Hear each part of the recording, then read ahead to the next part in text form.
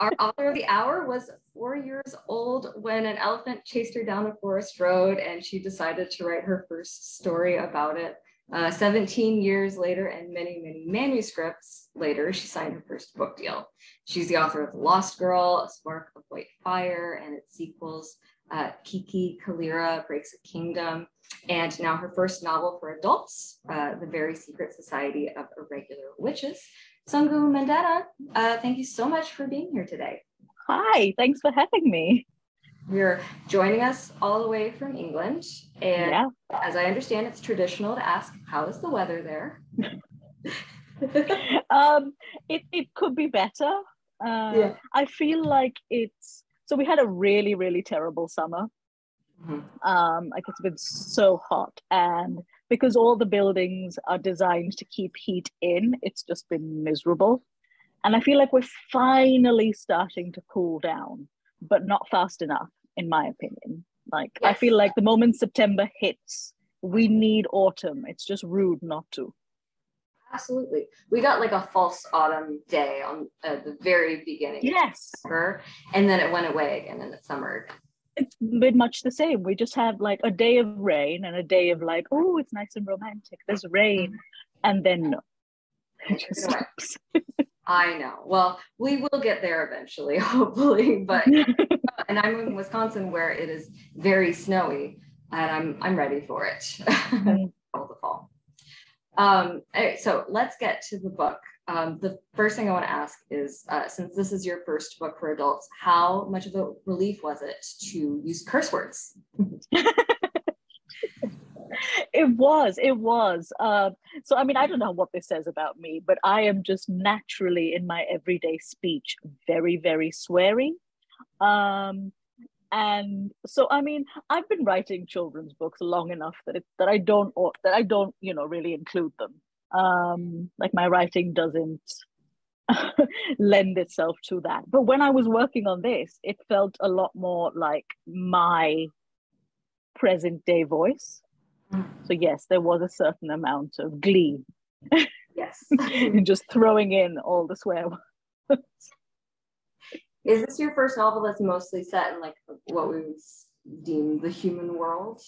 Because uh, I haven't read your other works. Yes, I think. I mean, um, my very first book, The Lost Girl, was set in in our world, but like witches had like paranormal and sci-fi elements yeah um whereas this one is again set in our world it's contemporary but it has magical elements uh so i think maybe yeah I'd probably say this is the one that's been the most um grounded yeah because it really i mean because it's partially set uh, exactly where you are in the world. Yeah.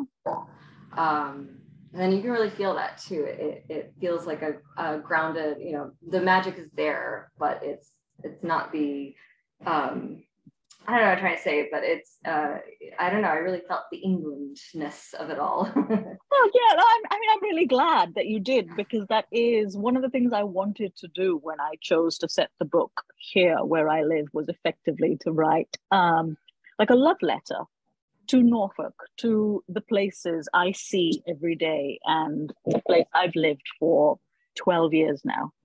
So it's um, yeah, so it's nice that that's that's come through, and I do think that in general um, there is something very whimsical and romantic about the English countryside.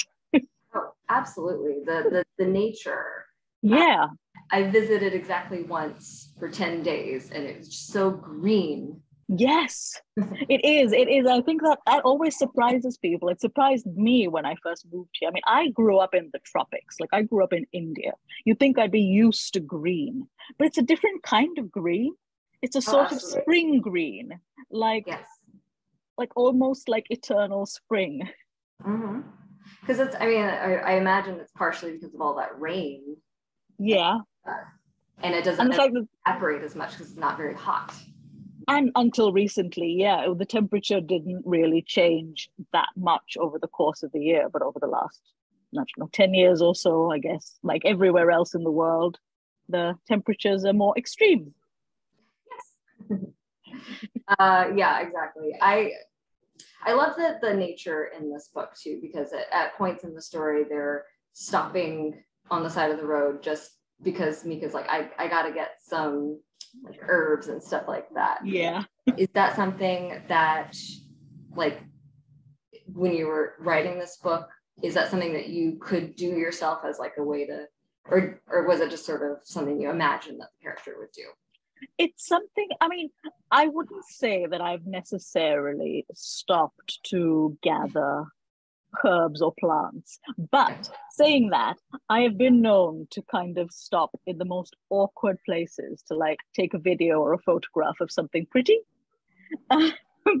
so, I mean, literally last year, I almost got myself run over because I was so like determined to get a photo of this field of sunflowers. Mm-hmm. which happened to be right next to a very busy road and there was me just kind of like casually crossing over to try and get um, so yes it is the kind of thing i would do. Maybe not necessarily the way mika does it and she is a lot more sensible about it. But for me it's kind of to try and capture um, something i see that makes me feel a certain way. Mm-hmm. Oh no, I totally. I've gotten in trouble for stopping to take pictures of things before. so, um, well, I so what I wanted to know first off is what was the initial spark that inspired this book? Um, was it did it start with witches? Did it start with found family? Like, uh, what was the? Mm. I, mm, it's, it's really it's not that i don't remember. It's more that it's really hard to kind of pinpoint which came first. Yes. So i would say probably um the witch part. Mm-hmm. like i think i knew that i wanted to tell a story about witches. And then i think from there uh, the moment i had mika and i knew who she was I started to ask questions like, why is she the way she is? What sort of rules does she have to live by to make her feel this way? And what can change? And I knew from the start that she was going to find a family that she'd never had before. I knew that she was going to fall in love. I knew that she was going to embrace her magical self. And it was just kind of, I guess, unraveling the way that would all pan out um, yeah, so I mean, mm-hmm, I, probably probably the witch came first. It's a bit chicken and egg. It's hard to know. fair enough. Totally fair enough. So you um in that same vein was the loneliness because loneliness is such a huge theme in the book. Yeah. That was from the beginning then. I think so. I mean, I think I I often say that the reason I started writing this book at that particular time was because it was the end of 2020. And I think that was a year when we were all struggling with loneliness and isolation in so many ways. And so it seemed inevitable that that would be a huge part of the story. Um, and that I would lean into the idea of how much we need human connection in a way that I don't think I'd really appreciated before. I think when you have it and you just take it for granted, you don't realize how much we need those connections until you're, you know, living in lockdown for months on end. And so, yeah, I think the loneliness was always going to be a part of it. Then, of course, there's also the fact that Mika's loneliness comes from an element of um, marginalization she lives on the edges of society. She doesn't feel like she belongs or fits in anywhere. And that can be very lonely. That can be extremely isolating, even if you know that there might be others like you out there. If you can't build relationships with them, if you can't find somewhere you belong, then it's just a bit empty, isn't it? Um, and yeah, so I think that I kind of drew on my own experiences of kind of feeling like I didn't belong or I didn't quite fit in. And so yeah, I, mean, I think it was inevitable that that would all come into play in some way. Yeah, because it's and what I found remarkable about the book is how thoroughly you um, bake in that element of loneliness into um, the fact that not only is she a witch, but she's also been raised in very extreme circumstances, uh, mm. Primrose, and she's also um, she's not white, you know, and that's uh, an element that is recurring throughout the story. That not only is she um, Indian, but also you know, these girls are mm-hmm. varying, you know, from all over the globe. Um, and there's more too, but I um, I just love how how everything feeds into that same theme. Um, it's a very uh, cohesive book in that regard. So I guess it's just my compliment to you. no, thank you. Um, I mean, I am really glad that that is making itself felt mm-hmm. to readers because that was important to me to show that sense of how different identities can manifest isolation and loneliness in different ways. Um, yeah, it's um. Thank you.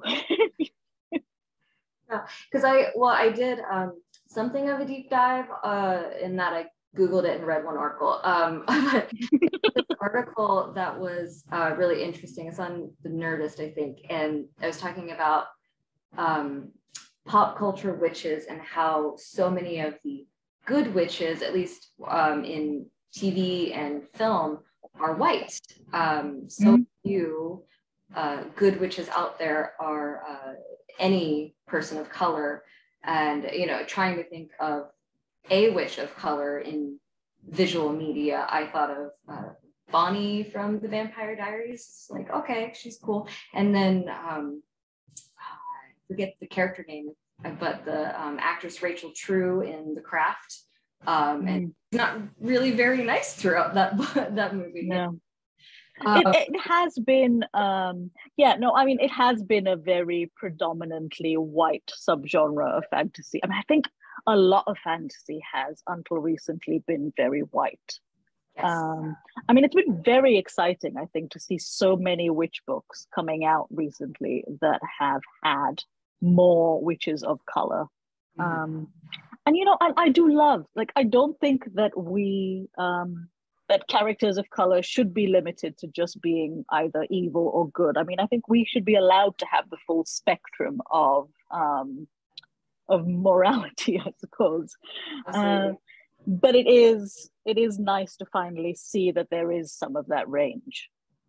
Yes, absolutely, and and I do think to your point that um, you it seems like and i'm no expert but it seems like we see diversity in books before we see them on in film and television um, so i'm hoping it's a sign of, of things to come because there are a lot mm. um, my coworker ollie uh, gave me a list of books and of course i, have, I don't have on me now but um, of books with uh, witches in particular who were not white uh, who have various backgrounds and whatnot so um, hoping as things go, you know, adaptations might happen and then we might see more um, witches of all sorts on screen as well as just yeah.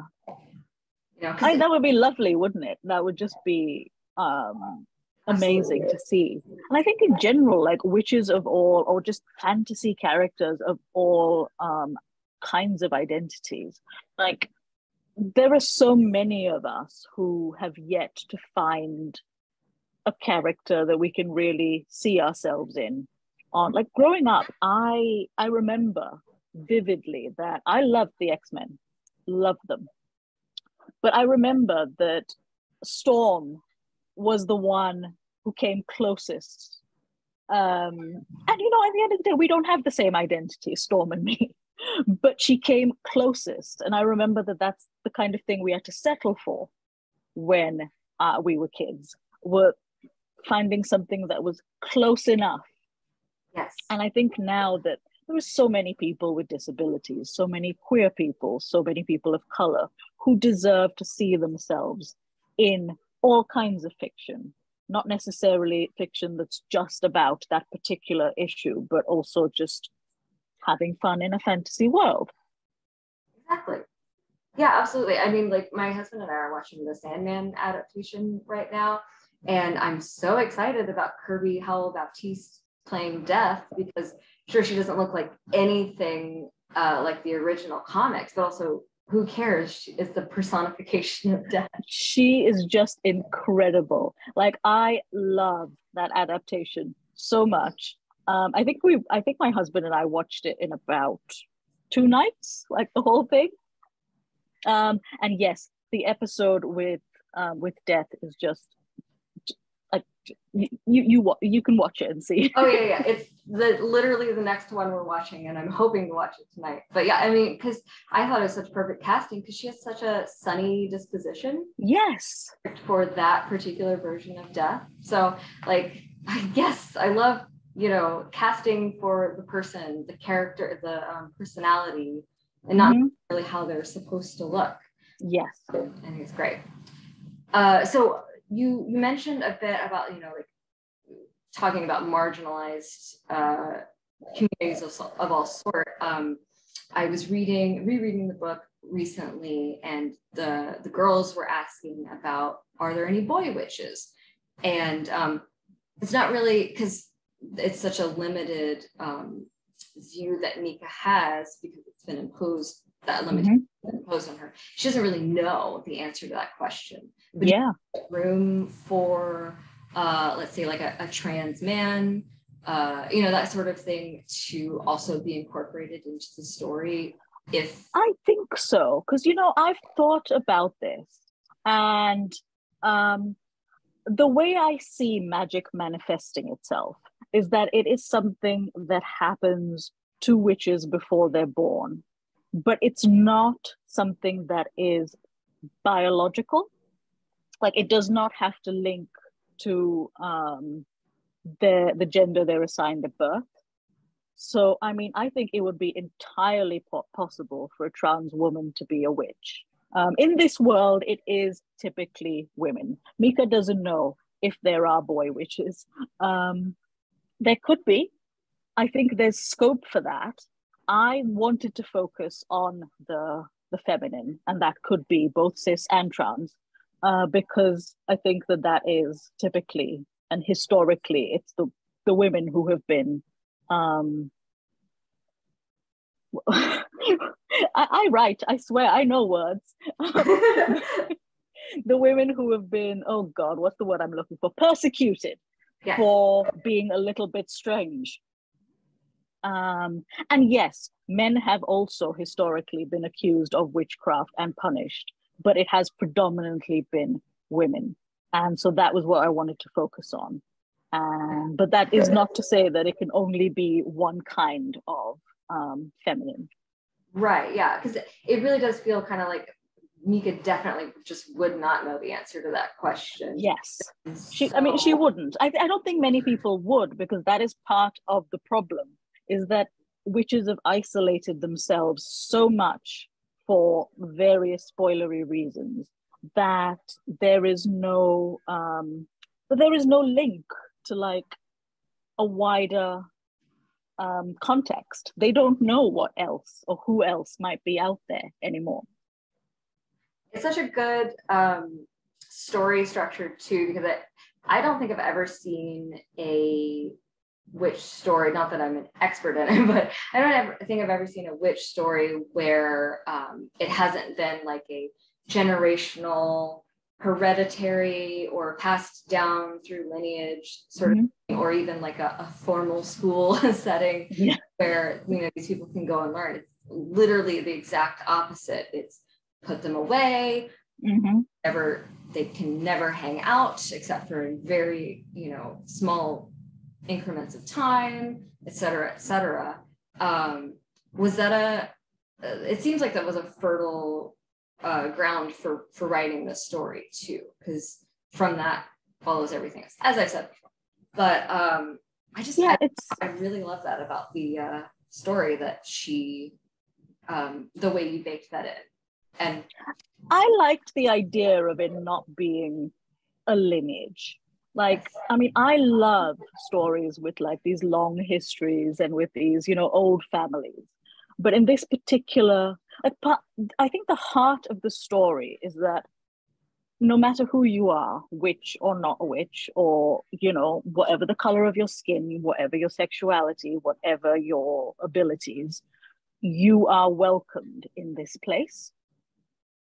And so I think part of that, like it was important to me that there be little to no sort of biological family um, and history, that it be people who are in some ways adrift who don't have history, who find that they have, that they, that in spite of that, they can find family. That family and love don't have to be linked, and power don't have to be linked to like centuries of lineage. Absolutely. Um, and so that leads me to, I think there's so many favorite parts of this book for me, but I love the three girls. Um, got Rosetta, who's 10, she's shy, um, she's super sweet. And then you've got Terracotta, who is kind of a mini psychopath, and I love her. she's not, she is, yeah. She, she, presents herself as such at the beginning. And then um, Altamira, who I'd say is uh, sort of like the um, pretty stereotypical young child, doesn't, yes, like she's uh, so enthusiastic. She doesn't know what to do with herself. um, so were they? I don't want to ask if they're like based on anything in particular, but uh, how did you form these characters? With the children, I think it was tricky because, on the one hand, I wanted to write them just as they kind of presented themselves to me, kind of mm. authentic and organic, and just let them do what they wanted but you do also i mean it's not a book about children. It is a book about the adults in their lives. So it was kind of trying to find a balancing act between um, letting the children do their thing but also sort of reining it in so that the focus especially coming as somebody who had been writing children's fiction i could see that it would be very easy to kind of give the children bigger and bigger roles. Mm-hmm. um, but you know i did always kind of see them in my head as they would be the oldest would be kind of like the big sister responsible shy um, sweet very bookish a lot like like i think i was quite a quite like that as a child. And then the youngest would you know be the child very much just happy to be a child regardless of the magic she has at her fingertips and terracotta was just fun. She was just fun to to like come up with. She is a little mini psychopath. I love her. Yeah.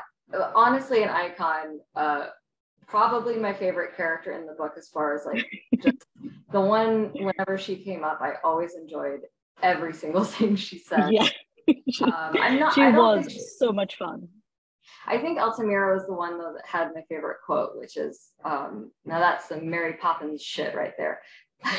So, um, yeah, I but, mean, I think that like regardless of who you are, there is something unbelievably funny about a child just like swearing, right? Just yes. like I, I don't I don't know what it is, but like, like you can see thousands of TikToks which have like hundreds of thousands of likes because everybody like cracks up when a child just comes out of nowhere with that kind of stuff. And Absolutely. I mean, my children have done it, so mm-hmm. it was it, it, yeah it was a thing.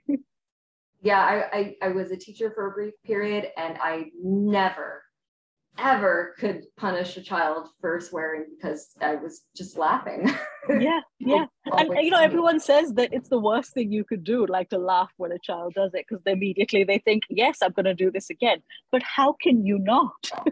Yeah i don't know. As long as they're not trying to harm anyone or insult anyone i I just whatever. It's just a word. Yeah, exactly. Um, but the, the beautiful thing I think about these three girls is that they, in triplicate, reflect directly back on Tamika. Um, mm-hmm. in multiple points in the story, especially Jamie, who we need to talk about, of course. But um, Jamie uh, is one of those characters who sees Mika not only as herself, but he also continually looks back on her childhood for her and is like, you know, that's really messed up um, because of his experience raising these girls. Mm-hmm. Um, so I, th- I, think it works perfectly in the story because again, it all reflects back onto um, Mika. we got to talk. I think she. um, but yeah, I mean, just to kind of yeah, um, they they do reflect back on her. In fact, the reason that she breaks all the rules to give them um, the magical tutoring that she's been kind of pleaded with to, to, to give them, she and you know she's not supposed to, but she does it because she wants them to have what she didn't have. She wants them to grow up differently. She wants them to be able to have the things. Um, and in some ways, they do. They do already have things she didn't have, and she sees that. Um, and they are, I think, um, a vision of possibility to her. Oh, absolutely. And I, I, I don't know. I just, I, I love the implications of this so much too, because you know she's uh, living in a world where you can't or not can't, but um, it would be unwise to maybe have a child. Mm-hmm. But she gets to see what it's like to um, sort of be involved in um, a witch's childhood, which is so yeah, yeah. Um, she gets yeah, she does get to really just treat them how she wished she was treated, Just so lovely. Mm-hmm. Um, yeah, Jamie, I Jamie is the best. I love I love him so much because um, he's so grumpy. He is, yeah. The grumpy Sunny thing is one of my bet my favorite tropes. Oh yeah, one of mine too. Yeah. He's and you know, as it always is with the grumpy characters, it's it's just like uh, pessimists, you know, they're just optimists who have been hurt so badly that they go onto the other side. Because um, of course he's a cinnamon roll, uh, yes, yes, of course. He is just, um, yeah, he is very much that um, kind of embodies that idea of somebody who is all bark and no bite. Mm-hmm. Um, like he is a grump. He is just so grumpy. Um, I think Mika calls him like an old man at some point, and that is exactly he is just like a grumpy old man. But underneath all of that is just so much love for the family that he has fought really hard to have. Mm-hmm. And um, yeah, and I think that the nice thing about Mika and Jamie together, apart from the grumpy sunshine like mm-hmm. interactions, is the fact that they have both been hurt in the past. They both know what it is to be traumatized and to grieve things that have been lost.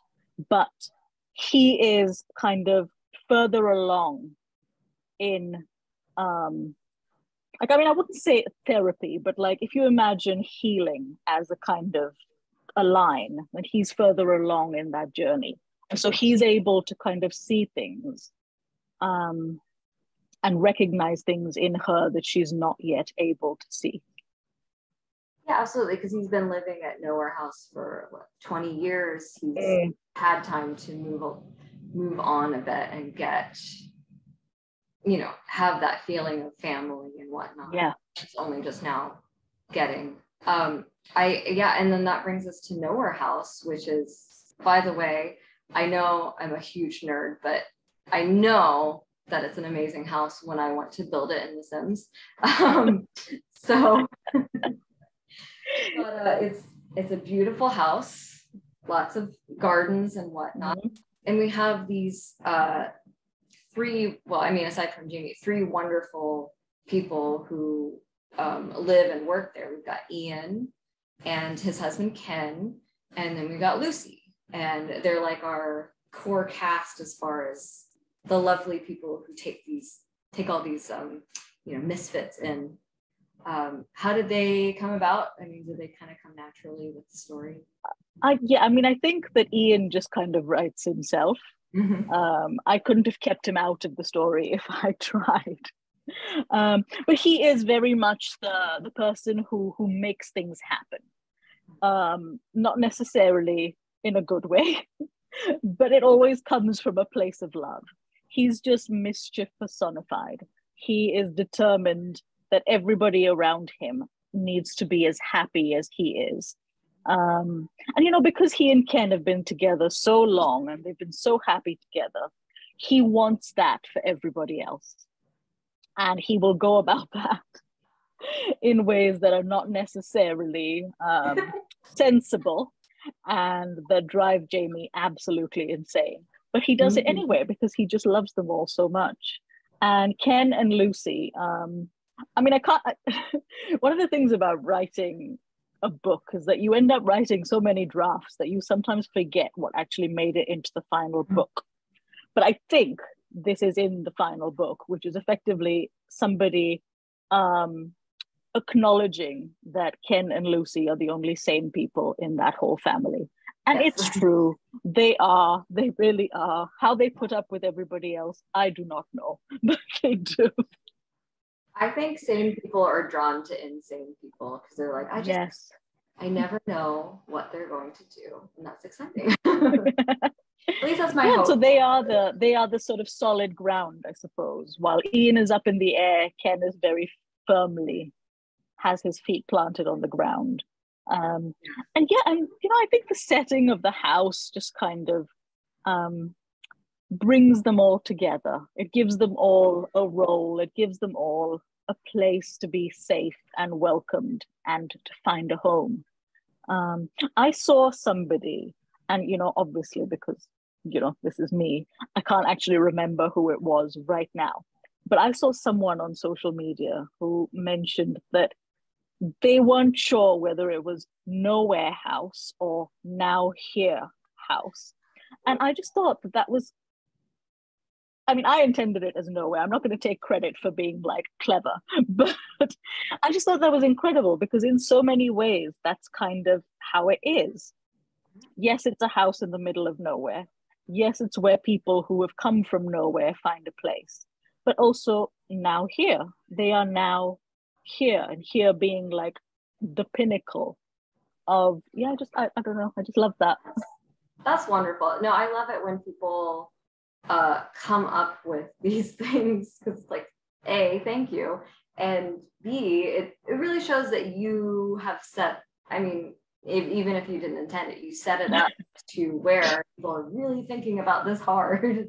Yes. You know, yeah and i do and i love that. I do like one of the things i've always loved about writing books is that there is so much that a reader can take from it that maybe you intended maybe you didn't intend it but there's just so much room to take things from a story absolutely um, one of the things i noticed when i was um, rereading the book is um, I think the the pacing is really good too because um, I don't want to I don't want to spoil it too much, so I won't say much about it. But uh, the the progression of Mika and Jamie throughout the story, uh, I was very happy rereading it that when they did get together um, fully, it was it was after all cards were on the table, so to speak. Yes.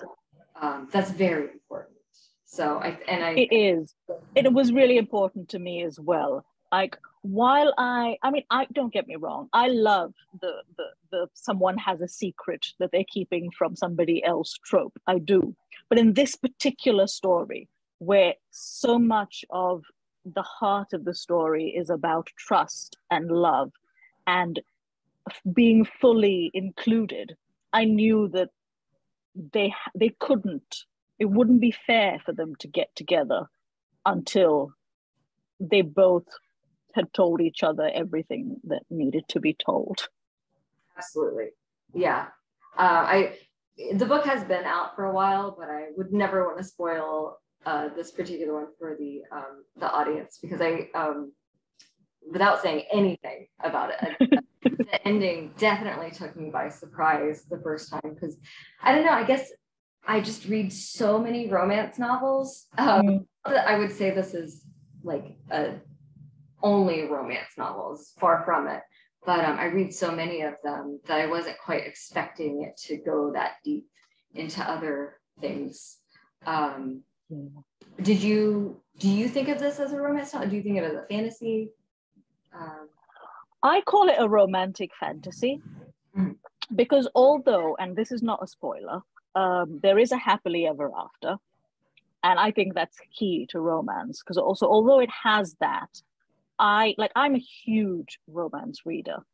And so I know that romance readers have very reasonable expectations for what they need to get from a book. And I know that because the romance between Mika and Jamie, though important, is a subplot and in the way secondary to the greater like plot of family.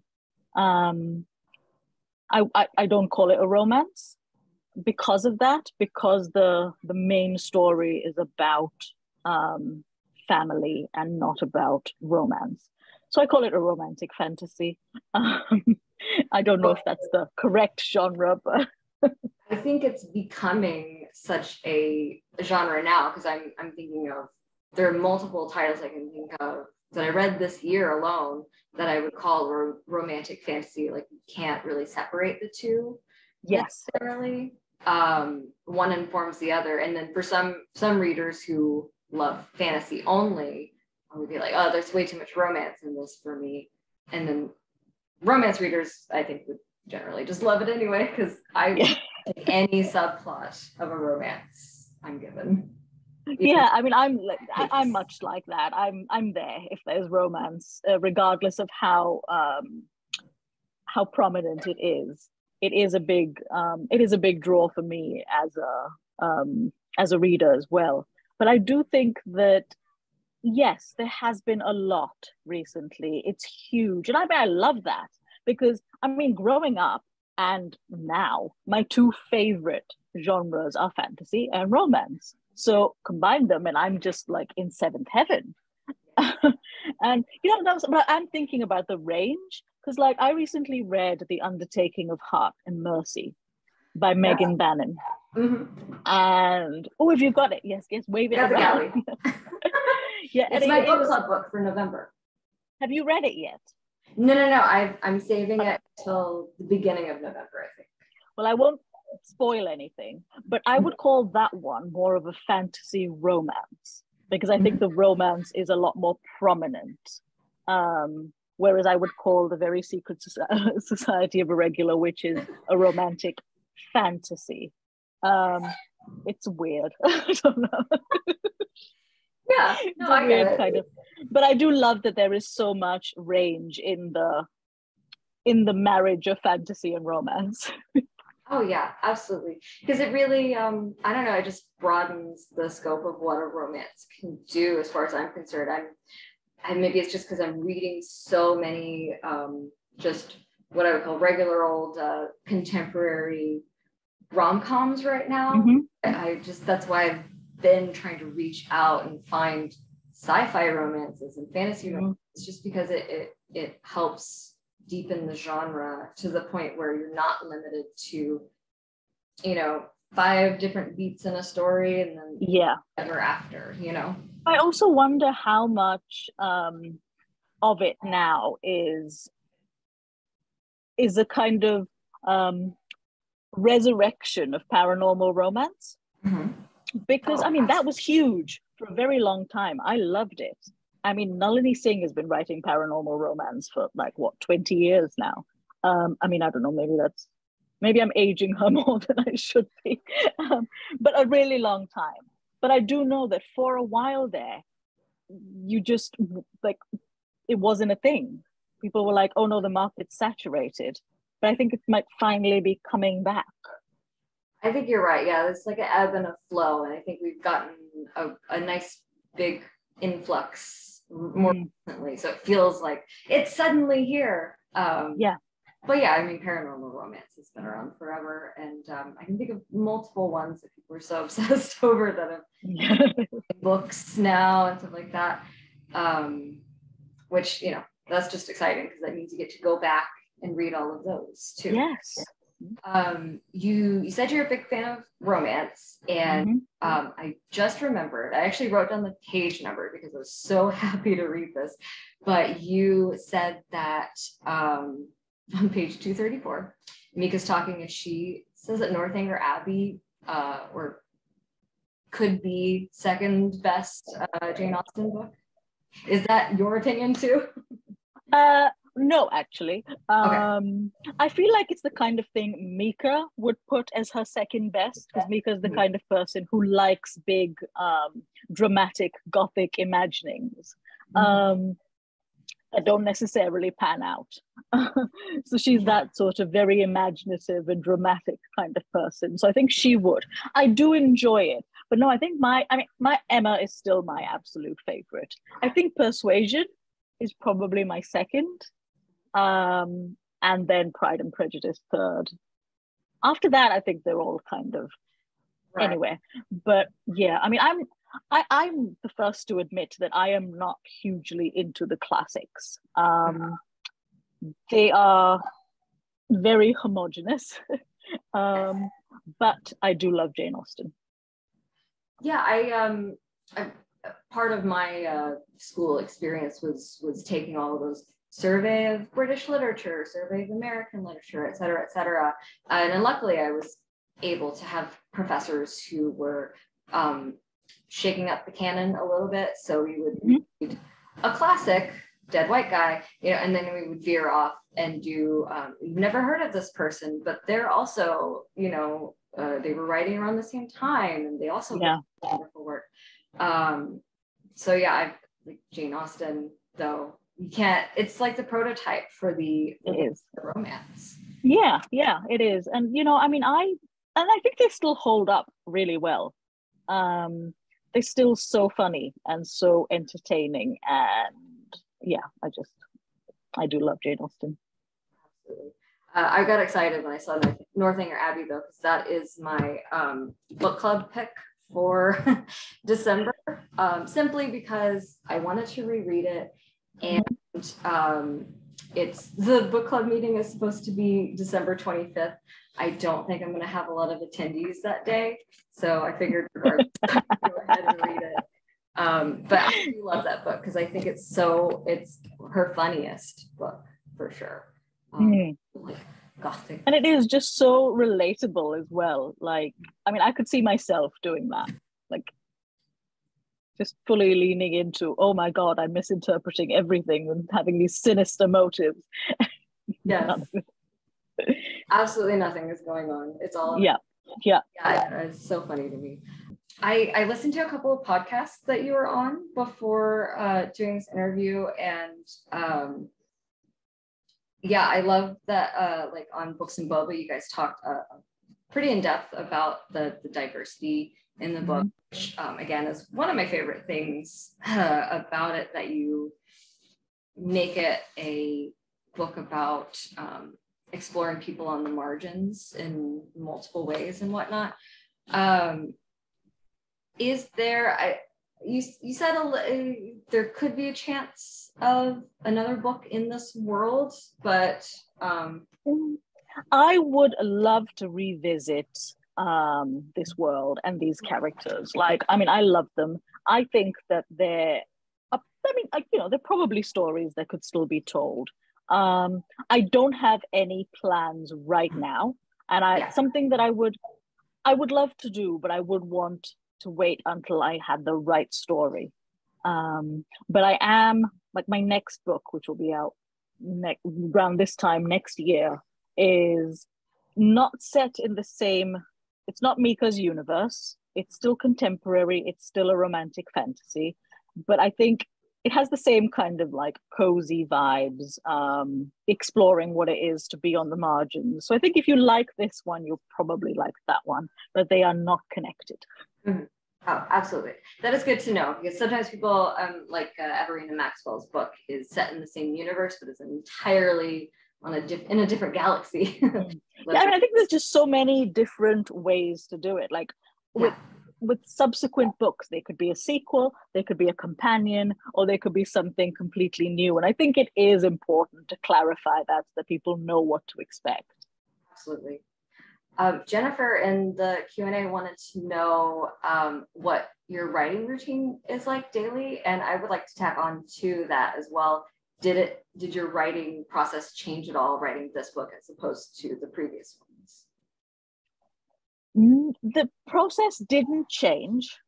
Um, I think for whatever reason, I have much the same process with all of my books, which is really just an emotional roller coaster of going from I love this idea to oh maybe this isn't working to this is the worst thing that has ever been written by anybody and finally to oh maybe this is okay after all um, and that kind of that, that is my process is to kind of work my way through those emotions to get to the end. And i think that's the same regardless of the age group i'm writing for.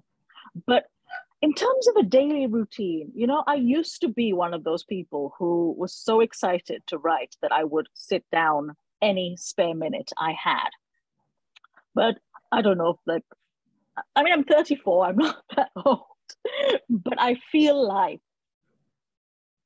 I don't have the stamina I had when I was in my early 20s. I get tired very easily. I have children so now my writing routine is more of a when there's time, I need to kind of assess have I got the energy and the headspace? Hmm. So if I have all three, then I will sit down and write. And it's not necessarily the most disciplined way, but I mean, I have ADHD and it's the only way I know how to work is to kind of make all three things like headspace, time, and energy like come together its own little magic. exactly. Yeah, absolutely. I'm also 34, and um, I you just reminded me one of my other favorite things about this book is that the the romance in this is between people in their 30s, mm. um, which is, you know, I like I read a lot of romance, and a lot of it seems to be uh, people in their in their 20s. Um, and uh, I don't know, it's just really nice to see I don't know, people in their 30s. Of course, I'd love to see older people as well. Yes. No, I mean, I think it is something that is, I mean, I met my husband when I was 20. So, I mean, I was a young, um, I was young when I found love. And, um, but it isn't realistic to assume that everyone will. Yes. And given and because I wrote this book at a time when I needed it most, you know, when the pandemic and um, I just wanted escapism, just some, somewhere to be that wasn't the real world. Um, I also think that I sort of naturally gravitated to a character who was closer to my age and sort of in the same kind of headspace I'm in. Absolutely. Yeah, and I think it um, it really comes through too that you know this is a this is a person who despite the fact that she uh, grew up in very lonely circumstances and whatnot she's a person who does know her own uh, brain. She's been through her own set of trauma and circumstances and whatnot. Mm-hmm. it's all formed her character uh, she feels like a real human being you know? Yeah. And that she's been through things and um, and I think one of the things about being in your 30s, um, and for Mika as well, is that in spite of the fact that she does not have everything she dreams of, she has matured enough that she embraces herself. And I mean, I think that was relatable to me because I think I'm only just getting to that point where I am accepting myself and embracing myself as, you know, in, all of the flaws and glories or whatever. Um, and I think my 20s was very much a time of not doing that. Um, and I don't know if it's just growing older or if it's just something that happens. But yeah, I feel like there does come a point where you hopefully accept yourself. Yeah. And I don't think it's it has to be one particular point. It can be multiple points. Yes. Life too, which is wonderful to see. I mean, it is a journey. Yeah, it doesn't really stop. I don't think anybody oh, ever gets to the point where they're completely content with everything about themselves. But that's part of being human, isn't it? That you always feel like there are ways to grow. Oh no, I don't ever want to feel like, oh, I'm done. I'm done. I'm baked. I'm finished. Yeah. Take me out of the oven and let me cool. Done. This is the best it's ever going to be. yeah. That would be horrible. So exactly. Because that is what kind of what's implied when you say, okay, I'm done, is that from here on out you're just going to go stale. like, no. Yeah, yeah, just just plateau. We're good. No more growth. Uh yeah, definitely not realistic, that's for sure. Um, well, I am so uh, happy that I got to talk to you today. Uh, like I said, I read this book so many months ago and then I reread it recently. Um, it it came to me at a time, you know, you're talking about writing it during the pandemic at a time you really needed it, but it came to me, you know, around the same time, so to speak, where all I'm looking for is things that will make me happy mm-hmm. and uh, make me feel things. And um, this is definitely the book for that. Every time anyone comes in and asks for a book that is um, just wonderful, this is the book I put in their hands. Um, oh, so much. thank you. I mean, it, it makes me so happy to know because that is what I wanted that people would find the same things in the book that I found writing it. Um, so yeah, that makes me very happy. Well, I'm very glad because uh, yeah, I uh, couldn't be more thrilled that this uh, book is out now and um, that I actually get to put it in people's hands because it's been a long time of me just saying. It is hard when you read things early, isn't it? Yeah, yeah, months and months in advance. Um, so yeah, I think uh, we did it we did the thing. yeah, yeah. And um, thank you again so much because this is also, you know, you're uh, an ocean away, and we were able to make this happen. Um, oh, I mean, it was my pleasure. Thank you. Little tiny bookstore in uh, Wisconsin and Milwaukee. Um, but this is this is exactly what we're here for is to talk about the book and uh, we wouldn't have a bookstore without you guys um, and without you as authors. Thank you, Sangu. Uh, and I hope you have a wonderful evening. Thanks, you too.